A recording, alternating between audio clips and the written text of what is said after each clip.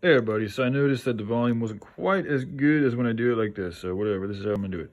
All right, so continue on here. So this animal sanctuary could have a centralized, I believe a home base, if I remember correctly.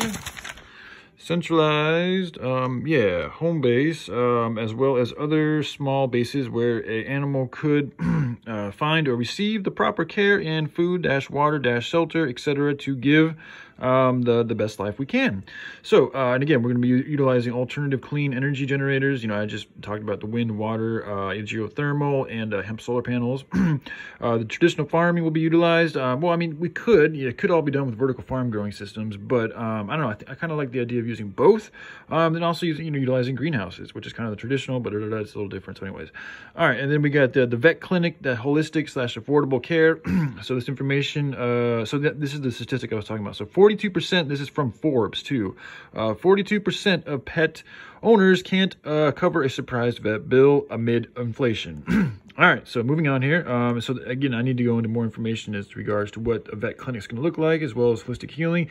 And in the following uh, words, you will see more of what I found and thus am going to be sharing with you guys in regards to holistic healing and acupunctures and stuff like that. So, all right, moving on here. Uh, the home base, uh, so home base dash sub bases.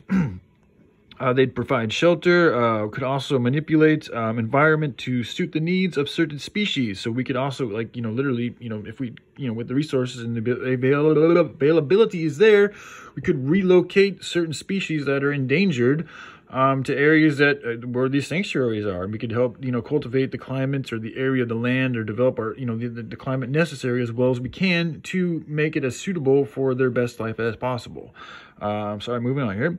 Um, the most, in, now, of course, this is why these need to be kind of sanctuaries because, you know, life forms can be invasive to other life forms. So it, it, by, by creating a, a, sanctuary, a protection, or, you know, uh, a secured area, you would uh, prevent um, these invasive species from hurting other life forms and upsetting the, the balance of that local ecosystem, which is a huge issue. I know, I think it was the rabbits in Australia that wreaked havoc on um, just the other wildlife in Australia because there was no um, there was no, I think, natural predator for the rabbits, so they just populated crazy and they started eating tons of vegetation that other life forms, other animals were dependent on, and so they actually ended up killing off a lot of the uh, the native species in Australia because of the introduction of rabbits. I could be mistaken, but if my memory serves me correctly, that's something like that has happened.